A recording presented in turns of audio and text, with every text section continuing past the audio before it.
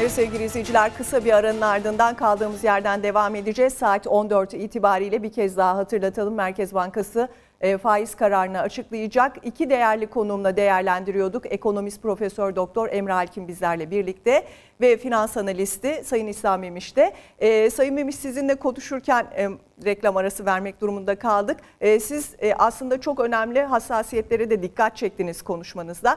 Şimdi e, şunu da sormak istiyorum her ikinize. Sizinle devam etmek isterim bu arada. E, Merkez Bankası e, tek haneye indirecekse faizleri zaten böyle bir ihtimal var. E, öngörüde ve beklenti de Evet. var. Neden tek seferde yapmıyor? Evet. Zaten bu yılı bitirmemizde de yani şunun şurasında iki ay kaldı.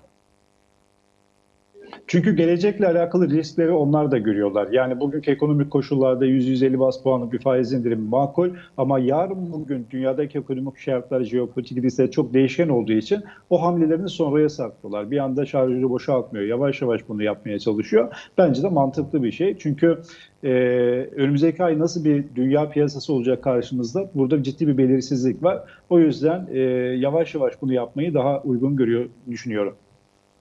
Evet şimdi açıklandı 10.50 olarak e, anladığım kadarıyla 150 bas puanlık bir indirime gitti. E, programa başlarken e, Sayın Hakin isterseniz sizinle de devam edelim. E, sonrasında Sayın Memiş'e de bu karara ilişkin e, değerlendirmelerini soracağım. E, 150 bas puan e, çok az bir kısım ankette bekliyordu böyle bir indirimi ama e, gerçekleşti. E, nedir tahmininiz? Bir de e, Sayın Memiş'e sorduğum soruyu size de sormak isterim. 150 bas puanlık indirime gitti ama ya hedef %9'sa neden tek seferde yapmıyor? Şimdi güzel e, bir hani yayın yapalım diye uğraşırken bir anda düşündüğümüzden de yüksek bir oranla karşı karşıya kaldık. O yüzden şimdi yorumlarımı çok dikkatli yapmaya çalışacağım. Ne demiştim? Merkez Bankası'nın iki tane opsiyonu var. Faiz yükseltme opsiyonu olmadığına göre ya faizleri düşürecekti ya sabit tutacaktı. Ancak sabit tutmasının e, nasıl diyeyim piyasalar tarafından yanlış anlaşılabilecek sonuçlar yaratma imkanı bile doğmuştu. Sabahleyin Mahve İlmez Hoca ile beraber bir konferanstaydık yan yana. Aynen şu kanaate vardık. Rasyonel olmayan kararları beklemek rasyonel bir iş haline geldi. Yani çünkü Merkez Bankamız Merkez bankacılığın teorisinde yer alan rasyonel beklentileri kırma adlı davranışı gösteriyor. Çünkü piyasada bazen çok fazla beklenti oluşur.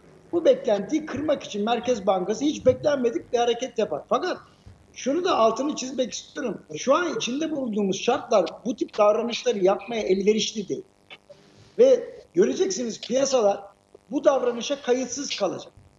Niye kayıtsız kalacak? Çünkü Fernando Pessoa'nın meşhur bir kitabı var. Huzursuzluğun kitabı diye.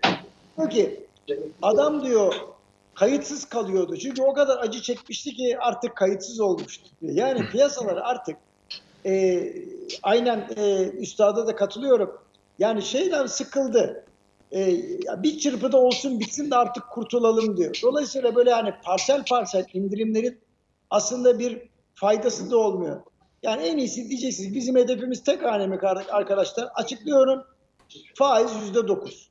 Yani bunu taksit taksit yapmanın bir faydası olmadığı gibi işte taksit taksit yapalım da döviz kurlarına etkisi fazla olmasın diye çabalamak da beyhude. Öyle ya da böyle olacak zaten. Hani bir tanesi yavaş yavaş olacak, öbürü sertçe olacak. Ben ise her zaman şunun altını çiziyorum. Yani bizim faiz indirimiyle alakalı büyük bir kafa karışıklığımız var. Baştan söylüyorum. Faizleri düşürüp, döviz kurlarını yükseltip, cari açığı daraltıp enflasyonu düşürecektik. Ben de diyorum ki ya dünyada emtia fiyatlarının rekor kırdığı bir yerde döviz kurlarını yükselterek dış ticaret açığını kapatıp cari fazla vermenin imkanı var mıydı zaten? Yoktu. Peki bu kadar çok döviz kuru yükselirken enflasyonu nasıl düşürecektik biz? Çünkü ithal ettiğimiz malların yüzde doksanı ham madde aramalı, yatırılmalı. E tamam enflasyonu da düşüremeyecektik. Peki o zaman şunu mu söyleseydik daha iyiydi? Aynen üstadın programın başında söylediği gibi. Ya biz büyüme yanlısı biz. Yani biz enflasyonu şu an kafaya takmıyoruz. Dünyada bir resesyon kağıdı. İnsanlar resesyondan korkuyor. İşte kriz şahini Rubini çifte krizden bahsediyor. Kimisi derin bir resesyondan bahsediyor. Biz de Türkiye Cumhuriyeti'nin hükümeti olarak, idaresi olarak böyle bir resesyondan, böyle bir çifte krizden kurtulmak için risk alıyoruz. Aldığımız risk de şu, fonlama maliyetini düşürerek vatandaşlara, iş sahiplerine ucuz kredi vermeye çalışıyoruz. Ha, ne kadar ucuz? Vallahi düşündüğünüz kadar değil. Ne yapalım? Enflasyonun işte yarısından biraz daha az e, bir faizle kredi vererek yola devam edeceğiz. Hatta seçime doğru bunu arttıracağız. Zaten Üstad demin dedi. Seçime göre seçime doğru giderken daha fazla kaynak vereceğiz. Merkez Bankası'nın banknot matbaasını alabildiğine kullanacağız. Buna mecburuz. Çünkü öyle ya da böyle Türkiye'nin büyümeye ihtiyacı var. Biz de bunu enflasyonu göze alarak yapmak istiyoruz. Yani. Bütün bu yani yaşadığımız işlerin özeti bu. Evet. Şimdi o zaman Sayın Memiş'e döneyim. Ee, siz dediniz ki aslında beklentilerin üzerinde bir indirime gidildi. Ee, muhtemelen e, sizin de görüşünüz o yöndeydi İslam Bey. E, şunu sormak isterim. Aslında az önce değerli hocam çok güzel özetledi. Bundan sonra e, önümüze bakacak olursak bu rakamlar yani faizde alınan bu e, son kararla birlikte e, gelen faiz oranları önümüzdeki günlerde döviz piyasalarını, doları, euroyu nasıl etkileyecek? Emtialara yansımaları nasıl olacak? Ve burada öncelikle hedef hep söyleniyordu e, enflasyonu düşürmek. Dolayısıyla o yıl sonu hedefe ulaşmak e, ulaşmak nasıl olur? E, ulaşılabilir mi? Bunu da sormak isterim. Hocama bir örnek de ben vereyim. Sabah bir e, psikolog arkadaşımla birlikteydim.